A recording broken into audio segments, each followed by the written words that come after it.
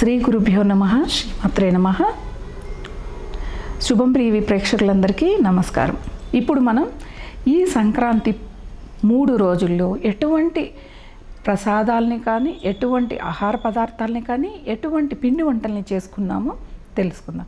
ముందుగా ఈరోజు భోగి పండగ రోజు ఏ విధమైన ఆహారాన్ని వండుకుంటారు ఆ ఆహారం వల్ల మనకి ప్రయోజనం ఏమిటి అని. మనం చాలాసార్లు చెప్పాను నేను మనకి ఏది ఆరోగ్యమో మనకి ఏది మంచిదో భగవంతుడు అది ప్రీతిగా మలుచుకున్నాడు. అది ప్రీతిగా చేసుకున్నాడు.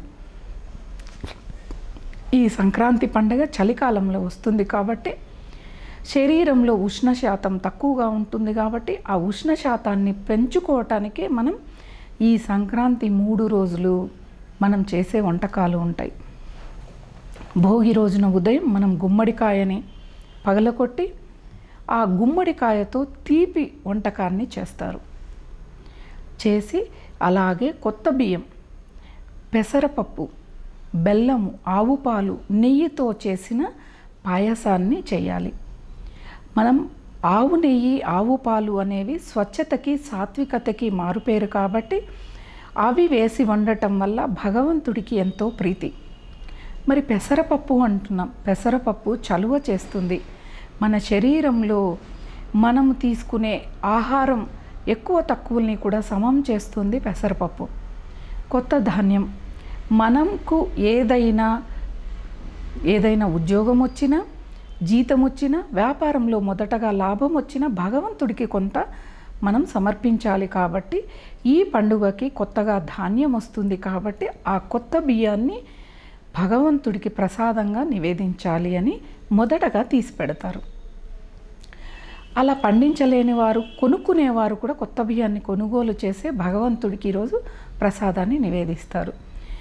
ఈ ప్రసాదాన్ని ఈ గుమ్మడికాయ తీపి పదార్థాన్ని చేసి అలాగే పొంగలి కూడా చేస్తారు.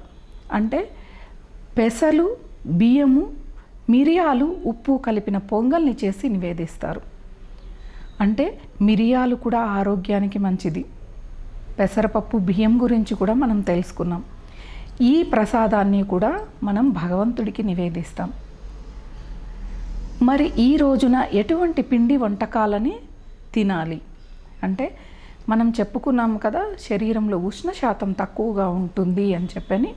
కాబట్టి నువ్వులతో చేసిన పిండి వంటల్ని స్వీకరించటం వల్ల మనకి ఎంతో ఆరోగ్యం. అంటే ఏ పిండి వంటల్ని స్వీకరించాలి? మనం నువ్వులు ఏ ఏ వంటకాల్లో వేస్తామో ఆ పిండి వంటల్ని చెప్పుకుందాం. అరిసెలు సకినాలు మురుకులు చక్కిలాలు కారపూస ఇలాంటివన్నీ కూడా అప్పాలు. వీటిల్లో కూడా నువ్వులు వేస్ట్ చేస్తాం కాబట్టి వీటిల్లో మనకి స్తోమతకి ఓపికకి ఏవి చేయగలమో అవి చేసి ఈరోజు ఆహారంగా స్వీకరిస్తారు. సూర్యుడిని ప్రధానంగా చేసుకొని ఆయన గమనాన్ని ప్రధానంగా చేసుకుని పండుగ కాబట్టి మనకి ఆరోగ్యం ప్రధానం కాబట్టి మనం ఈ వంటకాల్ని స్వీకరించాలి. మనం ఆరోగ్యాన్ని కూడా కాపాడుకోవాలి కాబట్టి వీటిని స్వీకరించటం వల్ల భగవంతుడు స్వయంగా స్వీకరించిన ఫలితం మనకి దక్కి మనకి ఆరోగ్యం చేకూరుతుంది. మనకి ఇప్పుడు వైద్యులు కూడా చెబుతూ ఉన్నారు మహిళలకి ఎన్నో ఇబ్బందులు వస్తూ ఉంటే రోజు కొంచెం నువ్వులతో చేసిన వంటకాలని స్వీకరించండి. మీకు వచ్చే ఇబ్బందులు తొలగిపోతాయి అని. నువ్వులు ఆరోగ్యానికి ఎంతో మంచిది. కాబట్టి నువ్వులతో చేసిన వంటకాలని ఈరోజు స్వీకరిస్తారు. అలాగే చాలా ప్రాంతాలలో ఈ రోజున నువ్వులు వేసి రొట్టెలని కూడా చేసుకొని స్వీకరిస్తారు. కాబట్టి ఈ రొట్టెల్ని చేసుకొని ఈ గుమ్మడి కూరతో వాళ్ళు ఆహారాన్ని స్వీకరిస్తారు. అంటే ఎవరి ప్రాంతానికి ఎవరి కుటుంబంలో ఉన్న సాంప్రదాయం ఆ ప్రాంతానికి ఉన్న సాంప్రదాయాన్ని బట్టి వంటకాలని చేసుకుంటారు.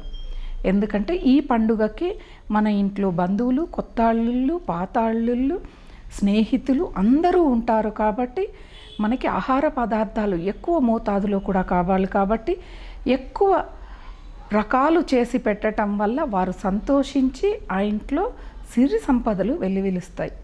కాబట్టి ఈ విధంగా భోగి రోజున ఈ పదార్థాల్ని స్వీకరించి దేవతలకి సమర్పించి ప్రసాదంగా మనందరము తీసుకోవటం వల్ల ఆరోగ్యము మన సాంప్రదాయము మనం ప్రకృతికి ఇచ్చే కృతజ్ఞత కూడా దీనిలో ముడిపడి ఉంది కాబట్టి అందరూ ఈ ఆహార పదార్థాలని స్వీకరించవలసిందిగా కోరుతూ స్వస్తి.